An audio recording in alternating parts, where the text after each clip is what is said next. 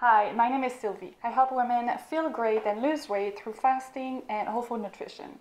On this channel, you will find simple recipes and practical tips that will transform your health. The best part is, you won't feel overwhelmed or deprived. In today's video, we are going to talk about fruit fasting and weight loss. Fruit fasting may be a good option to consider for beginners who don't feel ready uh, to go on a water fast. As I will talk about in this video, there are many other options that you may consider if you do not want to go on an extended water fast. But in this video, we will be focusing on how to take full advantage of fruit fasting. Fruit fasting is another type of modified fasting. As you may know, I love the fasting mimicking diet and any type of fast that involves some calories is called a modified fast. And that's the case for fruit fasting. However, I want to make it clear that we are not talking about fruit feasting.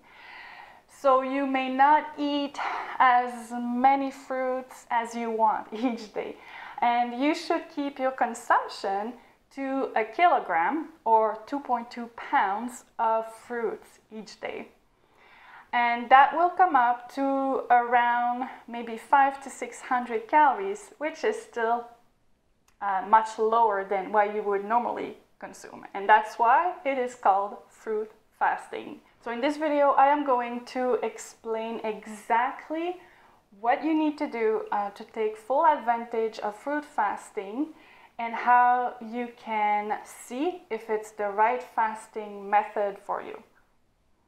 If weight loss is your main health goal, fruit fasting is definitely a good option. The low number of calories will definitely help you drop a few pounds.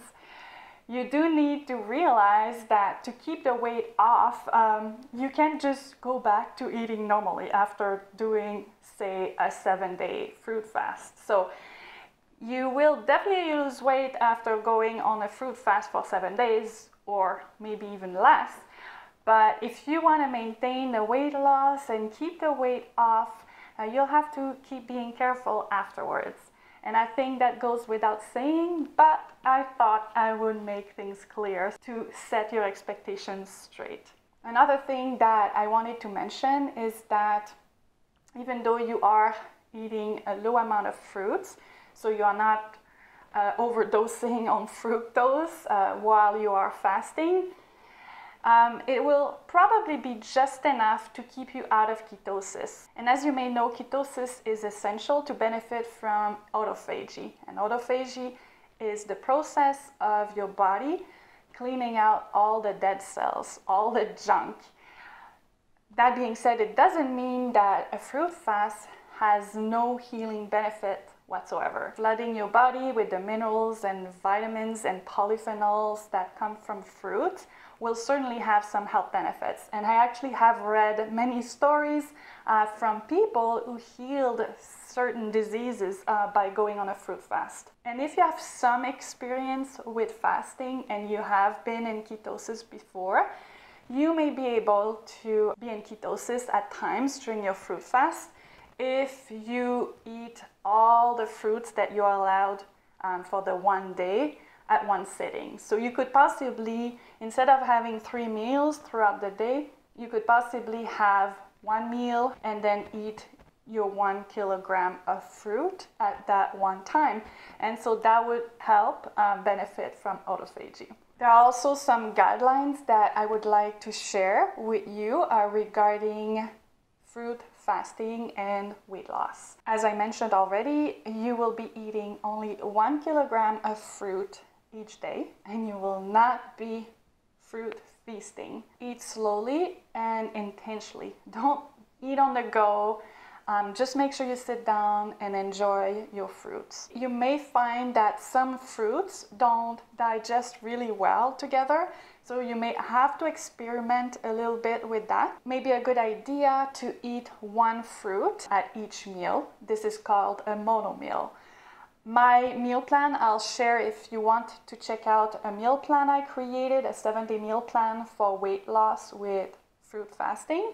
Um, check the description below. I'll leave a link there. But when I created the meal plan, I tried to really make these meals simple. A lot of them are mono meals. Some of them may have two fruits.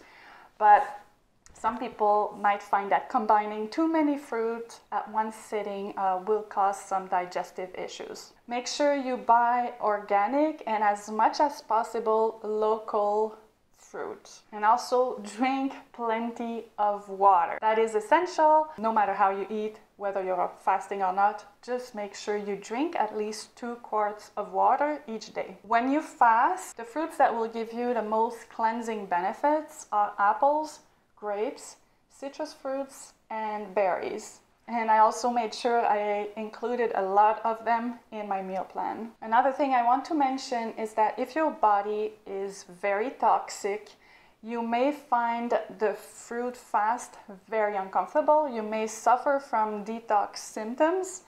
And to help alleviate that, uh, you can start gradually.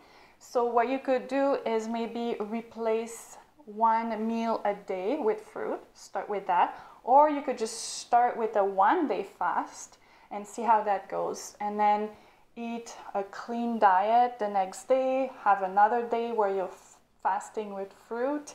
Um, so you can experiment a little bit that way if you are worried that you will suffer from detox symptoms. As I mentioned already, it's a good idea to try to maybe not have three meals a day and bring down the, um, the number of meals to two meals or even one meal. And if you feel too hungry, you can have herbal teas between meals and make sure you drink lots of water. You could have lemon in your water. So the, these are some options that you can try. Now, as far as achieving your weight loss goals, Fruit fasting is not the only option, obviously. And uh, I mentioned that there's other modified fasting methods that you can try, like fasting mimicking. There's also intermittent fasting.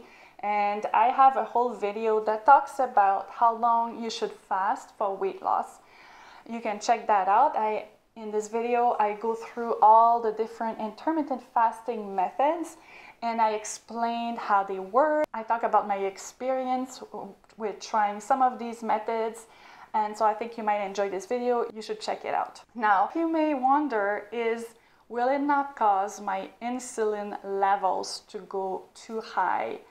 We talk about, we often hear about avoiding fruit to avoid uh, insulin spikes and low carbs and keto diets are very popular right now. So you may wonder why a fruit fast for weight loss. There's a couple of things that I want to mention here.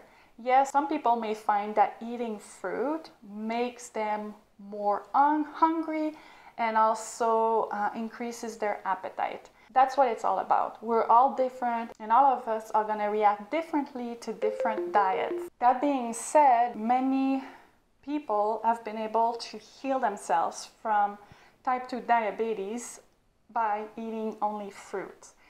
Um, so, fruit in itself will not necessarily cause issues with your insulin level. And in the case of a fruit fast, like I mentioned already, you are not consuming a huge amount of fruit. In summary, a fruit fast for weight loss may not be the best option for you, but it may be an excellent option. It's your body, and you're the one who knows yourself better than anyone else. So I recommend that you look at your options and decide if it's something you want to try. And then if you feel that, yes, you would love to try fruit fasting for weight loss, then go ahead, give it a try. Maybe start with three days or use my seven day meal plan for weight loss and see where that takes you. I hope this video was informative, that you found it useful, and thank you for watching.